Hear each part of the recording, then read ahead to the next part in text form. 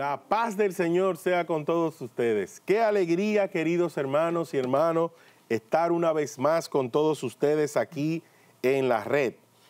Charlas católicas para la mente y el espíritu a través de Televida, Canal 41, el canal católico de toda la familia dominicana. Por favor, siempre te invito a que ores por este canal, a que colabores, a que hagas ejercicio de tu caridad para que esta pantalla que equilibra, equilibra el contenido de estos medios de comunicación, se mantenga contribuyendo, se mantenga transmitiendo. Es un acto de responsabilidad social mantener los medios de comunicación que equilibran el contenido, que no están detrás de una facturación, que no están detrás de un interés particular, de un grupo económico, político, que lo que prima es el bienestar común a través de una ideología, de la principal ideología de todos los tiempos, la permanente, la verdadera que es Cristo Jesús. Perdónenme que lo diga de esta manera, pero esto que es bueno es responsabilidad de todo mantenerlo. Y aunque no compartas mucho, por alguna razón, el catolicismo, nosotros formamos parte de una corriente de medios que mantienen el equilibrio del contenido. Qué pena sería que espacios como estos peligren o desaparezcan, porque las sociedades a las que pertenecen no la puedan sostener. Esto es una responsabilidad, así que ánimo, saca una parte de, de tus ingresos, designa tres Coca-Cola de la semana, dos cervezas de la que te bebes en la semana, cuatro postres de lo que te comes en la semana, desígnalo a que vayan a este canal de bien en memoria del equilibrio, en memoria de la responsabilidad social. Puedes inscribir tu tarjeta de débito o tu tarjeta de crédito aquí y automáticamente todos los meses no tienes que estar ocupado de estar haciendo transferencias se debitan 100, 200, 300, 500 pesos, lo que tú puedas donar. Te invito a esta experiencia de donación y verás lo que va a empezar a pasar en tu vida. Muchas veces nos decimos que esperamos ser millonarios,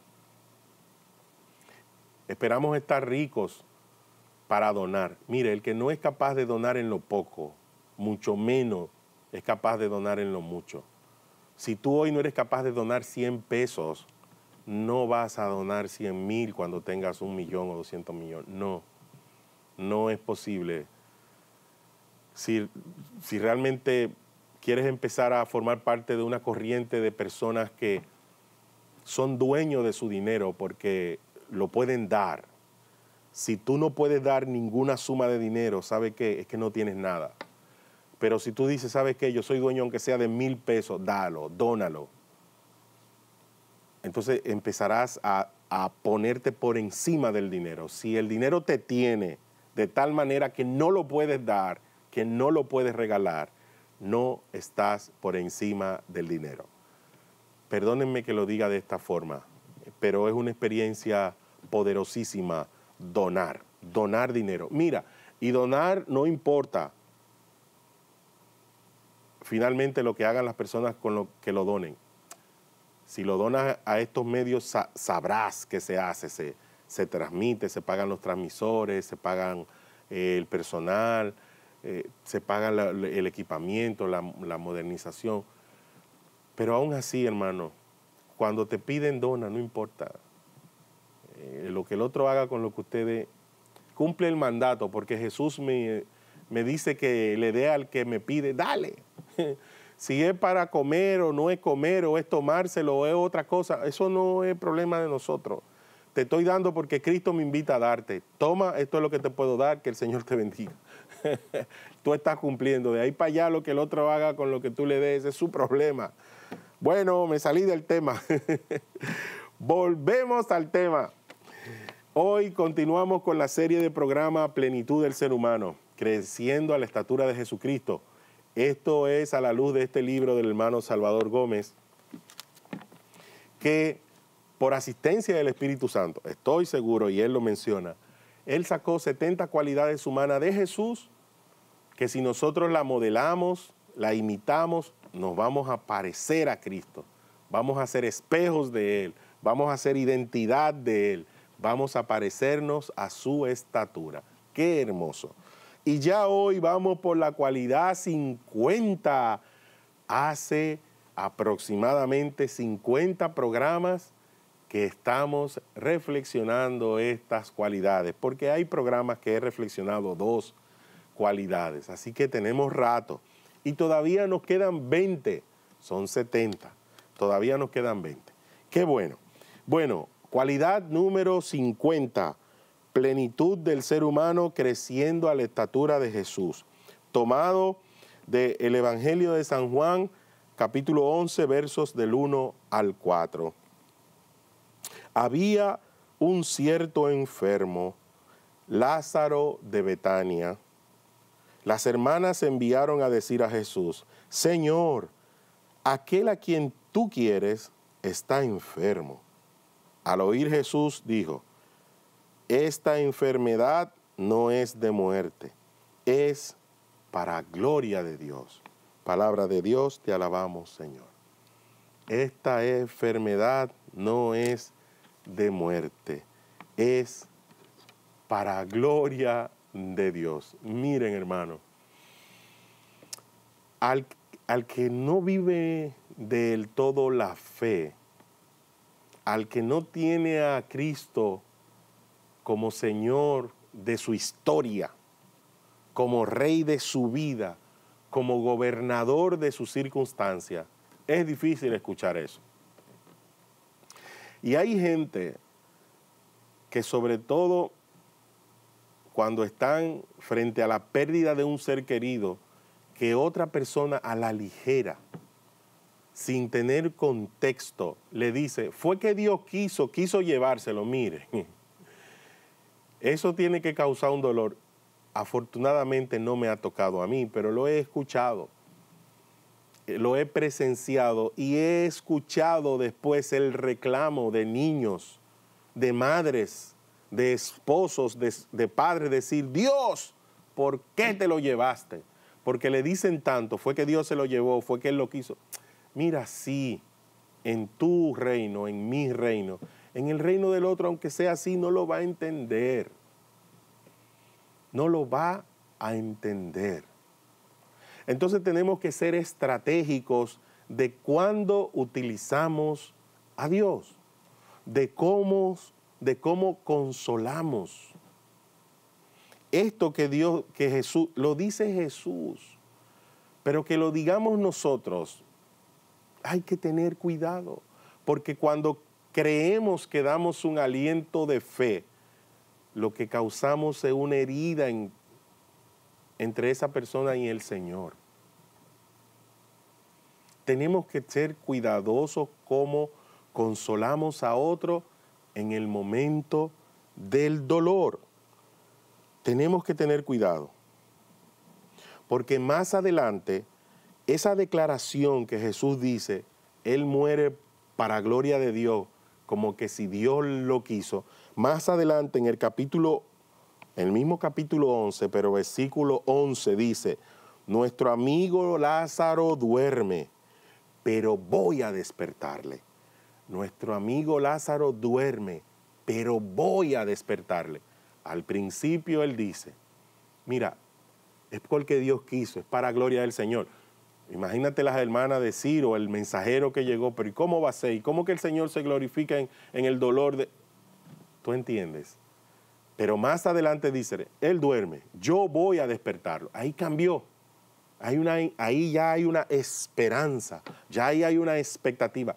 Jesús no deja el mensaje, no deja su respuesta en murió para la gloria del Señor. Él más adelante cerró. Con eso, hermano, te quiero llevar a la, reflexión de que seamos cuidadosos cuando utilizamos el Señor. Y en el momento del dolor, si no hay el contexto, si la persona a la que le estamos dando la consolación, las condolencias, no es una persona de fe, no es una persona en la que Cristo forma parte de su todo, no entenderá que su familiar se lo llevó el Señor y así Él lo quiso. dejándolo entonces solo, adolorido, complicado, etcétera, etcétera. Seamos cuidadosos en ese tipo de consolación. Pero voy a leer unas líneas que el autor hace aquí en la reflexión para sacar la distinción, porque no hemos sacado la distinción de esta cualidad número 50. Jesús acude al llamado de sus amigos para llenarles de consuelo en la hora del dolor. Su presencia llena de vida y de esperanza aquel lugar donde únicamente hay llanto y desesperación. Jesús está consciente que su visita animará y despertará y levantará a su amigo. La próxima vez que nuestros amigos compartan sus penas, tendremos la oportunidad de imitar a Jesús, que acudió para compartir el dolor con sus amigos. Jesús acudirá, acude para compartir el dolor con sus amigos. Bueno, usted y yo tenemos instalado la máxima de que en los momentos difíciles nadie aparece. Que los amigos son aquellos que están en los momentos difíciles. Que sí, sí. Qué bueno es tener amigos que nos acompañen en los momentos difíciles.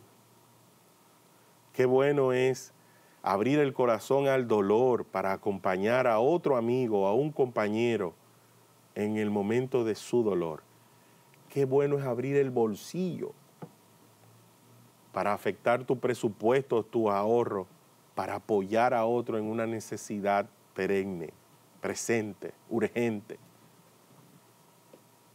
Eso es imitar a Cristo. Eso es espejear a Cristo.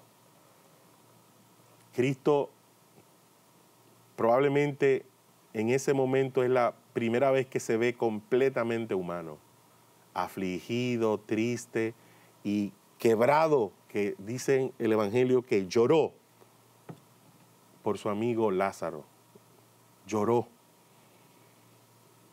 Y eso es lo que nuestros amigos esperan de nosotros. Esperan que nos afectemos. Y es una muestra de cariño, de solidaridad, de empatía, que nos quebremos en el dolor, que seamos empáticos en el dolor. A veces queremos contener manipular, orientar y controlar el dolor del otro. No, que debe hacerse de esta forma, que no se puede llorar de aquella. No, hermano. Si el otro experimenta el dolor de una forma que le duela y si usted lo puede apoyar a llorar, déjese afectar y llore. Es muy importante que en medio de la necesidad, tú y yo como buen amigo, muchas veces preguntemos cómo el otro espera ser apoyado. Porque a veces, por tu cuenta, por mi cuenta, yo brindo un apoyo que no es necesario, que no es esperado, o que ya está cubierto. En medio del dolor, al que experimente el dolor, pregúntele, Francisco, Pedro, ¿cómo te apoyo? ¿Qué te hace falta? No, Josué, tranquilo, con tu presencia está bien mira Josué, si tú me pudieras apoyar con tal o cual cosa, te lo agradecería. Pregunta. Mira, ya con la presencia es suficiente muchas veces, pero otras veces hace falta que alguien se asome y pregunte cuál es la necesidad. ¿Cuál es la necesidad?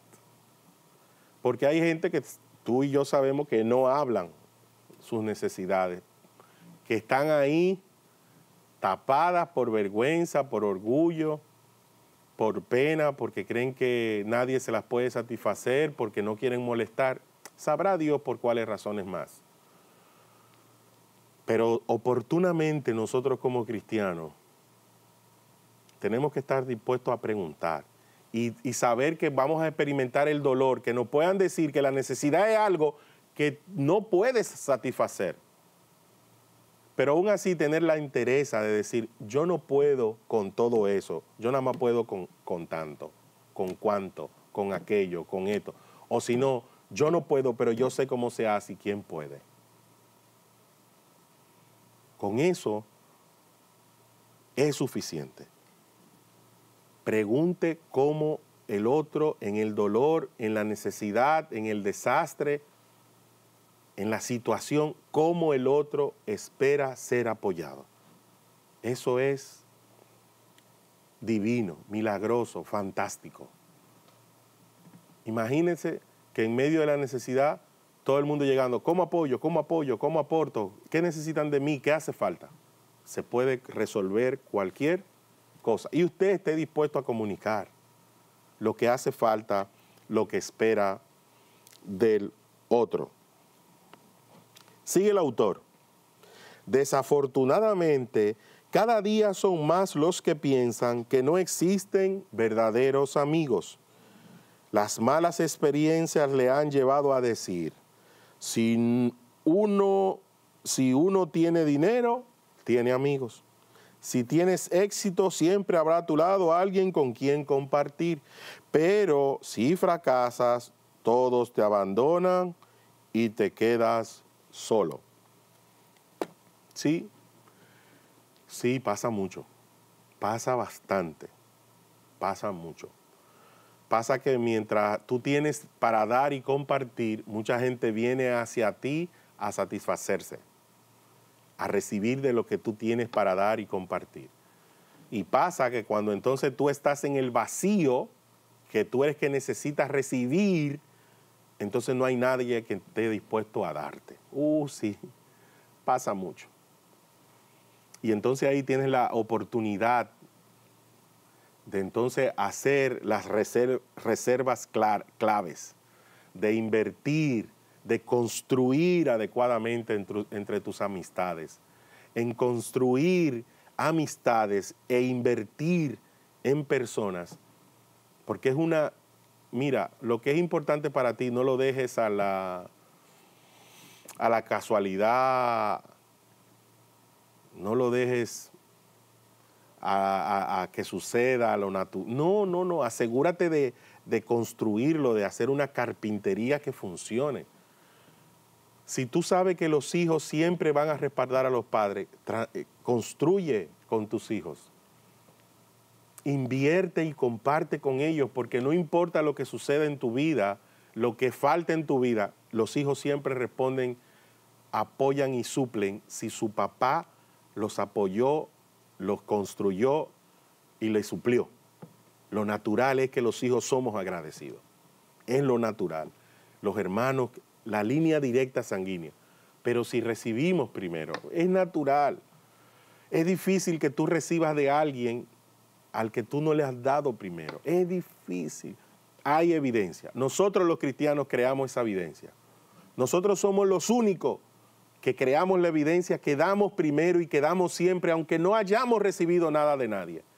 Pero esa no es la media ahí afuera, con tus amigos y con tus familiares tienes que estar programado y preparado y saber que si no has dado a alguien es difícil que recibas. Así que sí, hay que dar primero.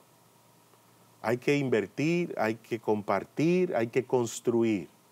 Para que haya reservas en el otro, para que cuando a ti te falte, ellos de las reservas que tú de ti tienen, entonces te den. Eso llévalo a dinero, eso llévalo a amor, eso llévalo a tiempo, eso llévalo a escucha, eso llévalo a cualquier aspecto de la vida. Pero hay que empezar a depositar sus reservitas en la vida de la gente. Empezar a reservar tiempo, pasar tiempo con el otro, para que en un momento cuando tú necesites tiempo de él, esa persona devuelva el tiempo que tú le diste a él así sucesivamente en cualquier aspecto de la vida. En cualquier aspecto de la vida. En cualquier aspecto de la vida.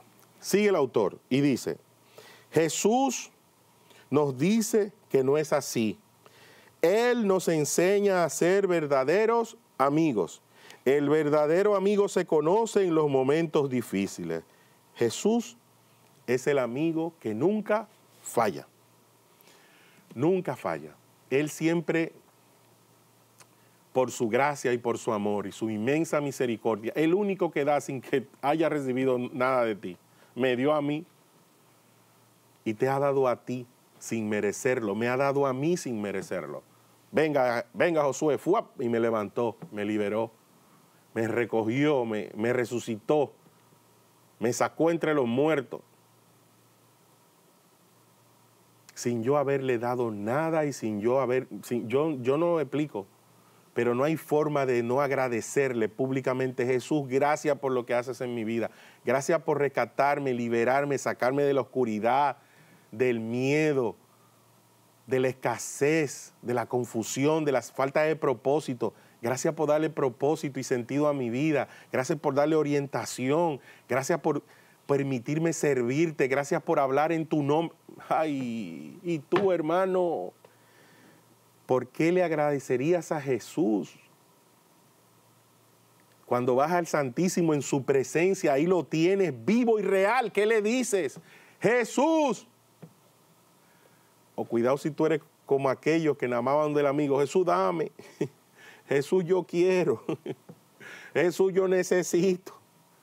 Y Él que es el abundante, el eterno, Él da siempre porque es inagotable lo que Él tiene para dar.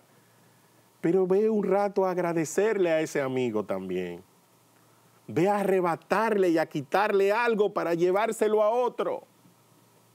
Ve a decirle, Jesús, te quiero presentar a mi hijo, te quiero presentar a mi esposa, te quiero presentar a mi vecino, te quiero presentar a otra persona para que también te hagas mejor amigo de él. ¿Cuánta gente llevas al Santísimo a presentárselas? Jesús ahí está, te lo dejó un papelito para que lo conozcas, él no va a venir, Jesús, por favor, ve tú primero donde Él y tócale la puerta, el corazón, la mente, tócale su empresa, tócale su familia. Así Él sabrá que tú estás presente y te estás acercando. Jesús, yo le dije que tú sanas, sánalo, Señor. Dale esa señal primero tú como le hiciste conmigo. Preséntale a Jesús a la gente. Presenta a ese amigo fiel que siempre acompaña, que nunca abandona. Presenta a Jesús. Presenta a Jesús. Comparte a Jesús. Comparte a Jesús. Vamos a cerrar este programa orando, pidiéndole al Señor que la obra que ha hecho en ti también la haga en toda esa gente que tú le presentas a diario en, en tus oraciones. Padre, te damos gracias por los milagros que haces en nuestras vidas. Gracias Señor por habernos salvado, rescatado y liberado. Gracias Señor por todas las evidencias que tú me das día a día de que tú estás en mi vida y que tú estás presente entre nosotros. Te pido, Señor, por todos estos amigos que están llegando ahora a mi mente, que al igual que a mí, Señor, tú toques sus puertas, tú toques sus corazones, sus mentes. Que al igual que a mí, Señor, que me has dado una experiencia viva de ti, le des también una visita y una probadita. Te los presento, Señor, para que también ellos tengan la gracia que, con el que tú nos has favorecido a nosotros, de tu amistad, de tu compañía, de recibirte a ti, de compartir lo tuyo, que has compartido tu padre y tu madre, pero sobre todo te compartes tú. Te presento a mis familias, a todos, Señor. A todos. Están ahí, Señor. Te los presentaré siempre. Porque tú siempre atiendes el llamado que hacemos, como hicieron las dos hermanas que te llamaron y te, dijeron, ven que nuestro hermano murió. Señor, hoy yo te digo, ven a la vida de mis amigos, ven a la vida de mis familiares, que pueden algunos estar muertos. Pero tú, Señor, en tu presencia, ellos cobrarán vida y en tu nombre se levantarán. Y como todos nosotros, una iglesia militante, te alabaremos y te daremos gloria, Señor, por lo que haces en nuestras vidas. Todo lo ponemos en tus manos, Padre, en el nombre de tu Hijo Jesucristo, acompañado de nuestra Madre la Virgen María y orando en la fuerza del Espíritu Santo, a ti que vives y reinas por los siglos de los siglos. Amén, amén y amén. Hasta un próximo programa, hermanos. Que el Señor me los bendiga.